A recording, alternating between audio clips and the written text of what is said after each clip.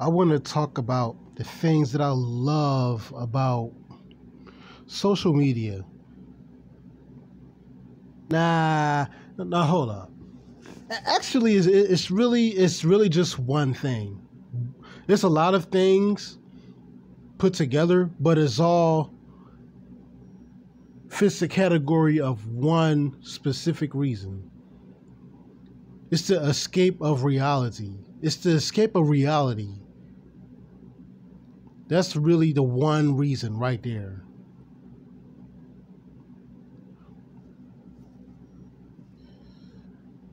For example,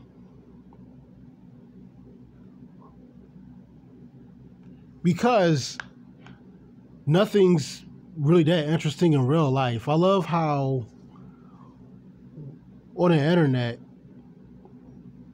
somebody who knows you in real life, who you, I guess, backstabbed or whatever, can become an agent years later. All of a sudden, you realize they were an agent. But this agent is not trying to poison you, trying to come into your house knows you in real life, knows where you live, but is not trying to poison you, trying to kill you. They're not going any further than trying to talk to you on, on the internet. The place that you care about so much. In reality, yeah, that, that wouldn't make any sense. But somehow on YouTube, that makes perfect sense. Another thing that I love about the escape of reality is the fact that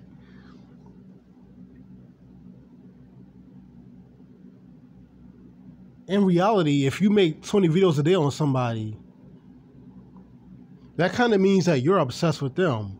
But if you make, but on YouTube, if you make 20 videos on somebody, on the same person, and you're not getting a response until like the 25th fucking video, that person is obsessed with you. They've been stalking you for four years. They're another FBI agent and they're eating poop. They're working for Satan and all this weird, crazy shit that's made up. They're fucking their own food. All this weird stuff. That's after responding to this person after they made 25 videos a day on them. And now, now that this person finally makes a response. They're obsessed with you and they're eating poop and shit. They're a F, they're an FBI agent eating poop, watching your every move. Hmm. Let's let's talk about some more escapes from reality.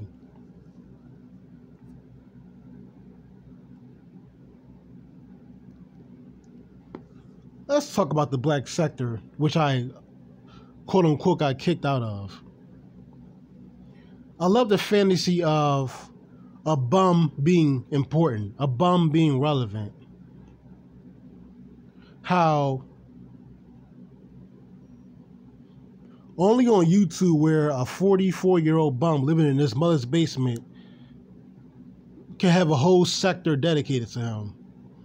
How all these other people in that sector are so rich and so famous and so well off, but they have nothing else to talk about on the internet other than this 44 year old bum living in his mother's basement. You mean to tell me that these people's lives are so great, but yet they have nothing else to do but to sit around talking about this one guy?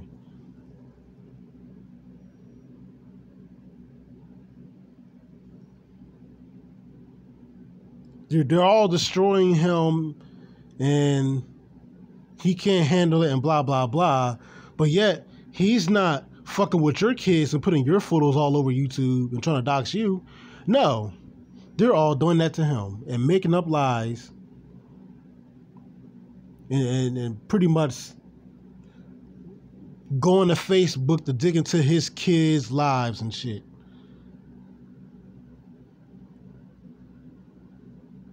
Yeah. That's see, that's how much attention a bum gets on social media. Because in real life, nobody cares about a bum. So, you know, I just find that interesting. Like I love it. This is even in video games. Like I I love the escape from reality. It's I think that's what it is. It's the escape from reality that I love. Maybe, maybe that's what it is. I, I don't know. I'm not saying that my reality is that bad. I'm just saying that, yo, it's this is so far from reality that I can't help but to be a little bit fascinated. I, I really can't.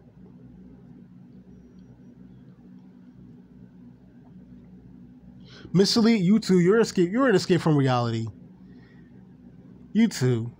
I'm, I'm not going to throw you out of this because we know I'm so-called caping for you. Well, I'm not really, but I just don't have the time and the energy to worrying about what you're doing. So.